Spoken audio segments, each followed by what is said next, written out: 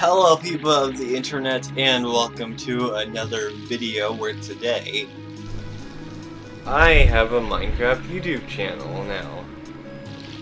So the link to this channel will be in the description below. So make sure you go check that out. And like always, check the description and if animatronics are chasing after you, run.